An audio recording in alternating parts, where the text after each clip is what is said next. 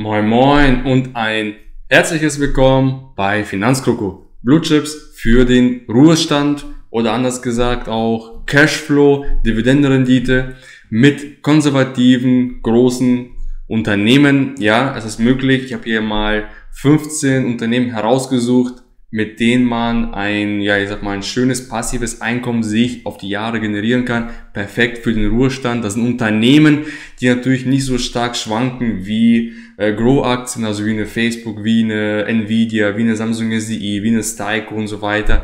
Das sind Unternehmen, die schon etabliert sind, die schon sehr lange auf dem Markt sind, die ihren Markt beherrschen, die ihre Dividende seit Jahren anheben.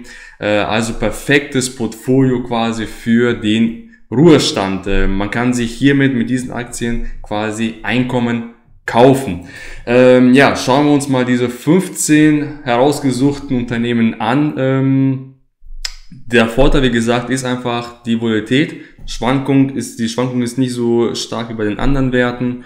Und äh, ja, schauen wir uns auch mal jetzt mal ganz kurz diese Unternehmen an, welche ich da herausgesucht habe. Ähm, ja, perfekt für den Dividenden-einkommensbasierten Investor, aber keine, keine Anlagenberatung ist nur meine persönliche Meinung, wie ich das quasi machen würde, wenn ich jetzt vielleicht vom Ruhestand stehen würde oder so. Aber auch die eine oder andere Aktie habe ich auch in meinem Depot für den, ähm, für das Einkommen. Also ich sag mal, die Hälfte davon habe ich mindestens im Depot, das schauen wir uns gleich mal an und sage ich auch dazu, ob ich die selber im Depot habe. Aber diese 15 Unternehmen haben etwa, wenn man sich die zusammen anschaut und addiert, insgesamt ungefähr 3,5% Dividendenrendite und der Wachstum der Dividende beträgt etwa 8 bis 9% jährlich. Das ist natürlich auch sehr, sehr fein. Ähm, wir möchten ja über die Inflation gehen, über den ja, Einkommensgehalt äh, Erhöhung ja auch drüber sein und äh, ich denke mit 8, 9 Prozent ist man da auf jeden Fall auf der sicheren Seite und man hat sogar noch Plus, also man bekommt wirklich Jahr für Jahr immer mehr an Dividenden. So, ähm, 3M ist die erste Aktie, die ich auf dem Schirm habe, die zahlt schon seit 63 Jahren die Dividende. 63 Jahren ist, aus, ist der aus der Industrie und hat eine Dividendenrendite von fast 3,2 Prozent. Ich denke mal, die kennt auch fast jeder. Ich selber habe sie auch schon lange, lange im Depot, 3M.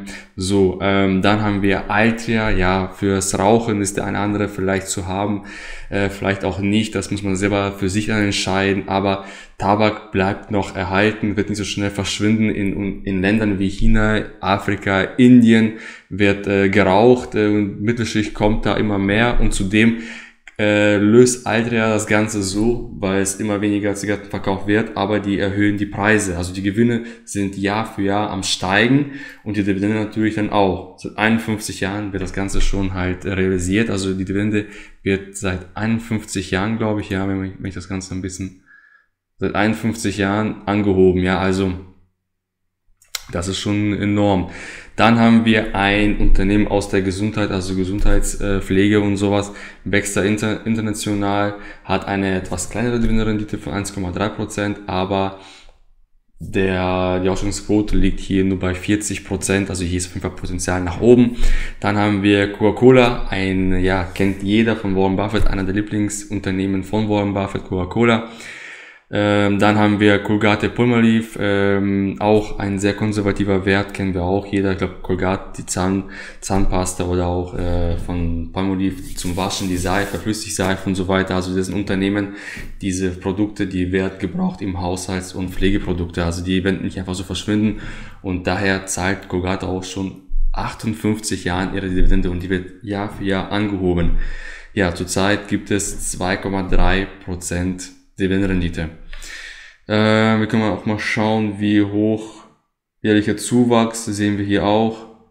In den letzten zehn Jahren 5% angehoben, die Dividende. So, dann haben wir, was haben wir noch?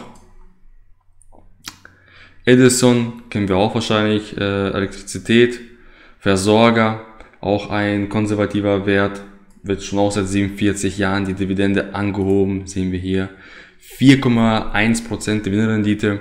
Dann äh, Home Foods haben wir auch, Lebensmittel, äh, Marktkapitalisierung etwa 20 Milliarden und äh, ja, seit 55 Jahren Jahr für Jahr auch hier die Dividende. Dann haben wir Johnson Johnson, eine meiner größten Positionen in meinem Langfristdepot, Gesundheit, äh, Pharma ist einer der größten Unternehmen hier in diesem Portfolio mit 370 Milliarden Marktkapitalisierung, hat eine Dividendenrendite von 2,5 Prozent und die Dividende wird seit 59 Jahren angehoben und die Ausschüttungsquote liegt noch extrem im Soll bei 50 bis 60 Prozent. Also auch hier ist noch viel Luft nach oben. Dann haben wir Kellogg. Kellogg's kennt jeder. Meine Kinder frühstücken, glaube ich, jeden dritten Tag äh, zum Frühstück Kellogg's. Und äh, ja, ich denke mal, so schnell wird das Unternehmen auch nicht verschwinden. Auch hier wird das Unternehmen seit 16 Jahren die Dividende angehoben und seit 35 Jahren zahlen die eine, eine ununterbrochene Dividende, die nicht mehr gesenkt wurde. Ja, ähm, auch ein richtig feines Unternehmen, Kellogg, ähm, mit einer Dividendenrendite von 3,6 Prozent. Dann haben wir wieder einen Versorger, Nordwest aus USA, mit einer Dividendenrendite von fast 4 Prozent und die Dividende wird schon seit 65 Jahren angehoben, Jahr für Jahr. Und in den letzten 10 Jahren wurde die Dividende äh, um etwa 1% angehoben. Man sieht hier, ist das schon bei 4%, das ist schon recht hoch. Das ist also in Ordnung.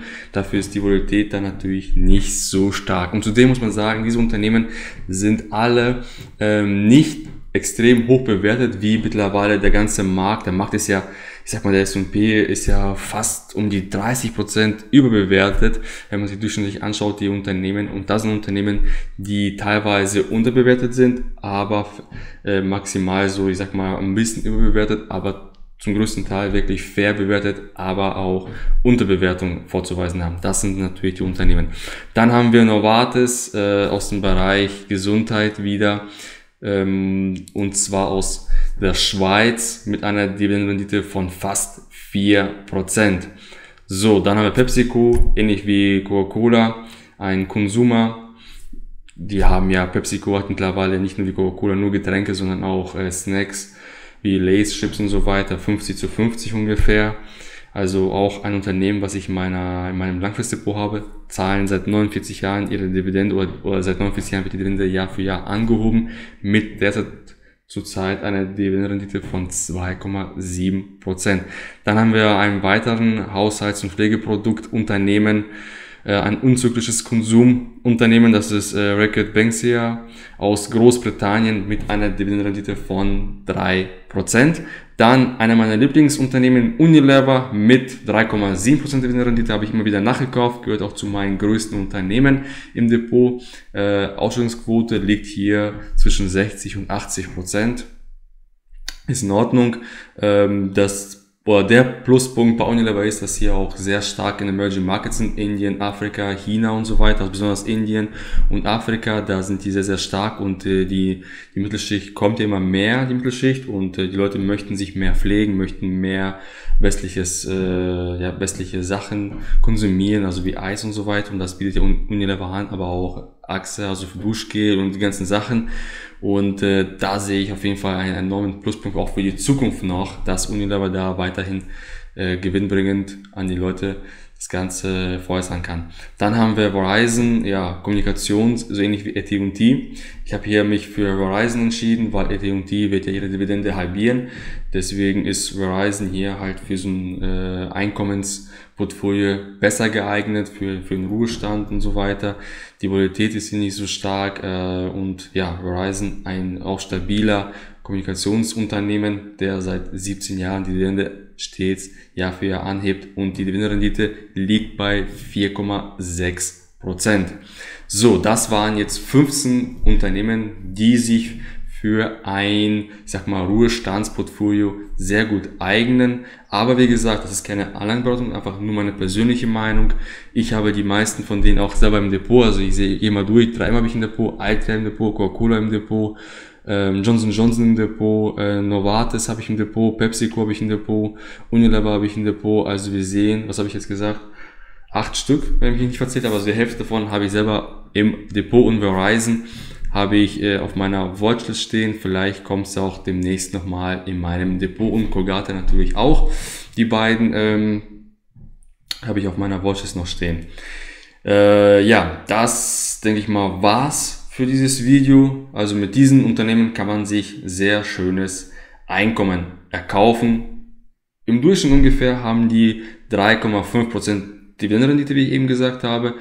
Bedeutet also, wenn man äh, 1000 Euro investiert, sag mal insgesamt, ja, muss man schon vielleicht ein bisschen mehr, wenn wir vielleicht 10.000 Euro nehmen und ähm, das Ganze dann halt äh, vielleicht auf ein, zwei Jahre mal rechnen, dann liegen wir im ersten Jahr bei 350, bei 350 Euro im Jahr bei 10.000 Investment.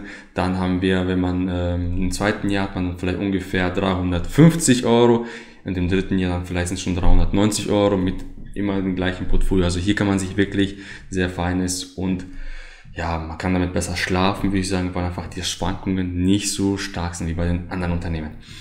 So, ähm, jetzt was ist aber für dieses Video. Ich bedanke mich fürs Zuschauen und würde sagen, wir sehen und hören uns wieder. Bis dahin.